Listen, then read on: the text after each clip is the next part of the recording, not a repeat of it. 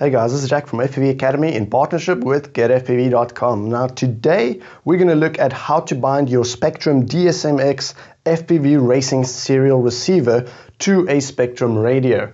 Now it's a little bit more tricky than the FrSky radios, they are quite a bit easier but let's just go over this and this video should make it a little bit easier for you.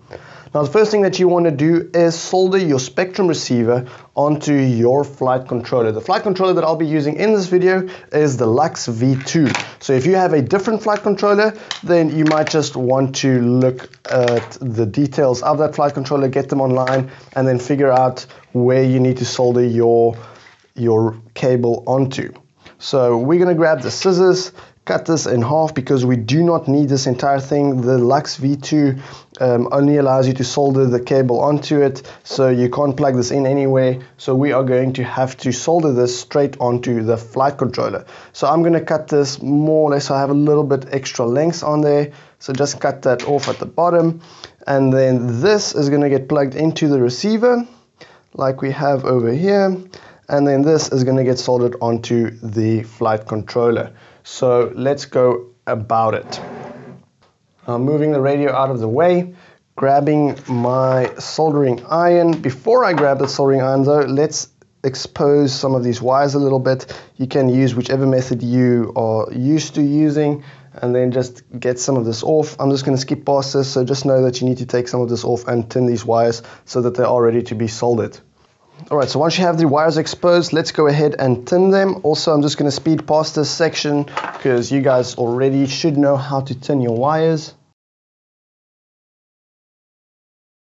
Now once your wires have been tinned, we're going to solder it straight onto the flight controller.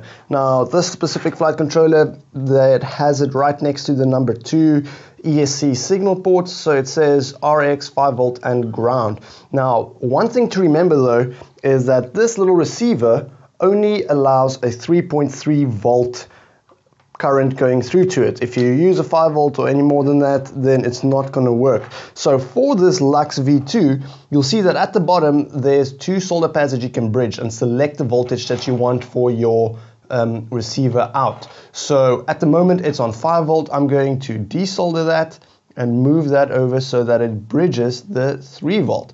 Now we have a 3 volt current going through to the flight controller and that will be perfect for the specific receiver. So just make sure that you have that 3 volt selected. If your flight controller can't do 3 volt then you might have a little problem. There are some step down regulators that you could use or maybe you just need to get a Lux V2 that has that built in for you. Now one thing to remember with this though is that the orange wire is your 3 volt now, the black is the ground, and the gray is the signal. So the gray one I'm going to solder onto RX. So let's just heat that up and let that solder on there. The 5 volt, well it's actually 3.3 but on the board it says 5. Um, we're just going to solder that on there now. There we go, that one's on. And then the final one is the black one which is your ground. So that is the ground soldered onto the flight controller. So this little setup that I have over here is very basic. It's just the power distribution board so I can power the flight controller and then the flight controller is going to step down, down to 3 volts so we can power the receiver. So let's plug this in and see if it is successful and it should light up if we are successful.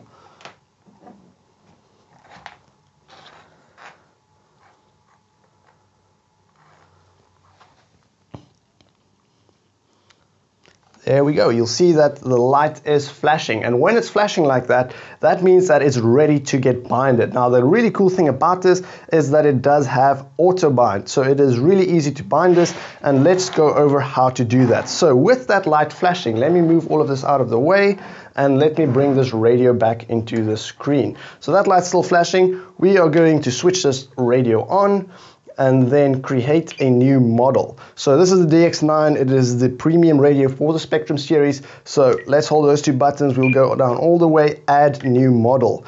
Do you want to create a new model? Yes, let's create a new model.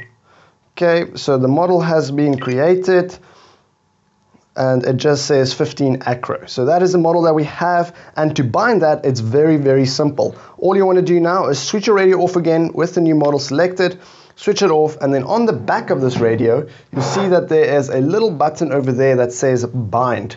So with the light flashing and everything ready to go, we're going to switch this radio back on while holding that bind button in the back. So switch it on and keep holding that bind button. Binding. Then it will say that it's binding. And now you'll see that that light stopped flashing. And that means that it has and is giving me a message that bind failed. Now, if it gives you the bind failed error, then sometimes there's a few things that could go wrong, and most of the time it's a very, very simple fix, and that is just that for some reason it doesn't want to bind if it is so close to the radio. So what I'm doing now, switching this off, plugging this back in, let's just see that this light is lighting up again, so let's just give it some time. There we go. So the light is flashing again. And what I'm going to do now is actually move this out of the screen entirely. I'm going to put it about uh, 10 feet away from me just so that it is out of the way and further away from the radio. So I'm putting it in the corner of the room and I'm now walking back and let's give it another shot on the radio. So now it's further away, hitting the bind button, holding that in, and we are arming or switching on the radio. Let's see if this will fix it. There we go. It has binded. So bind complete. There it tells us that it's done binding and it is now binded to your radio. So something very simple like that. It's too close to the radio. I don't know why that happens, but sometimes it does happen and that is a small little thing that we just need to troubleshoot and just move it out of the way like I just said. So once you have it binded, let's move over to the Betaflight configurator and then we have a closer look on how to set it up on the computer so that you have your values on there being able to see all the inputs on there and making sure that everything works fine. Before we do that though, one thing I forgot to mention is that you will then see, if you go and fetch it again, you'll see that that light stays a bright orange color. And that means that the binding has been successful. If I switch this off, that light is going to go off. And then that means that it hasn't binded. And if I switch it back on again, you will see that the light will go back on saying that everything's good and we are binded and ready to go. So when you see that, then you know you're ready to move on to the next step. So once you have your flight controller plugged in, you want to first unplug your receiver. Just take it out for now. We will be plugging it back in. And once you have done it, you can click on connect. So once you're inside there, you want to make sure that you have selected the correct UART port for your serial RX. Now on the Lux V2, it is the UART4 port. I'm not sure what your one is. You might have to make sure that you have selected the correct one. Just look in the documentation that you find online or the manual and you will know which serial RX port you need to select to be able to activate your Spektrum receiver. So save and reboot. Once we've done that, we can connect it up again and we'll go into configuration. Now, we are running a SpecSat, which is serial based receiver, and we are using Spektrum 2048. So we can click on that and then click on save and reboot. And then once we have that, we can finally plug in the receiver. So just as it is, plug in your receiver, and then you can click on connect again. So once that up and connected, you can hit the receiver tab and then change this channel mapping to JR Spektrum and Graupner because we're using a Spektrum radio.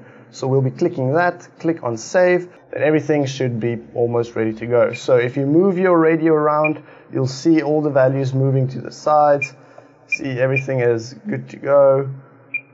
And then with that done though, you'll see that the values aren't exactly from 1000 to 2000. So just keep an eye on the throttle here. My throttle is lowered all the way down. It's only on 1160 and it goes up to 1841. Now we don't want that to happen. So we need to be changing that. And the same with the yaw. The yaw goes 1840 to 1159. So that's a problem. We don't want that. So to fix this problem, we will be going into the menu of your radio. We'll then go into the servo setup and then move over to where it says travel. So if you hit the travel button and then go down to the throttle section and we'll be playing around with this. Now, as you'll see, as I'm rolling this, you'll see that on the Betaflight screen, the throttle is decreasing down all the way to 1000. So keep rolling it until you reach just under 1000. Now for ailerons, we'll also be moving this around until it reaches the 1000 and 2000. So that one is on 1000 now, and on the other side, we're moving that up to 2000. There we go. So now the travel is from 1000 to 2000. The throttle top end, I forgot to do that, so I'm just going back and putting that up all the way to 2000. And there it is on 2000. So now the travel is from 1000 to 2000. And you'll see that it's kind of making a pattern. Both of them are 147. So if we just keep it like that, then for elevator, this should be changing both values to 1000 if it's on 147. And now the top one, let's move that to 147 as well, and that will then take it to 2000. There we go. And then the next one is the rudder. Let's just move both of those to 147 without even looking on the screen, and then they should be fine. So rudder is this one. So there you'll see the yaws 2000 and 999. And then there we go. Now you have all the travel set perfectly for that and you are ready to get flying. So once you have that, you are basically ready to fly and you have set up your receiver. Everything works fine as you see, it moves as you are moving the, the sticks and your receiver is binded. So I hope you guys enjoy this video. If you're still struggling with this, we definitely recommend phoning the support at getfpv.com. They will help you out immediately with your problem. Sean, the guy that will probably be the one helping you, is very, very helpful and he'll just walk you through everything. Now thank you guys for watching this video and we really hope that you enjoy your flight. And we hope to catch you guys in our next video.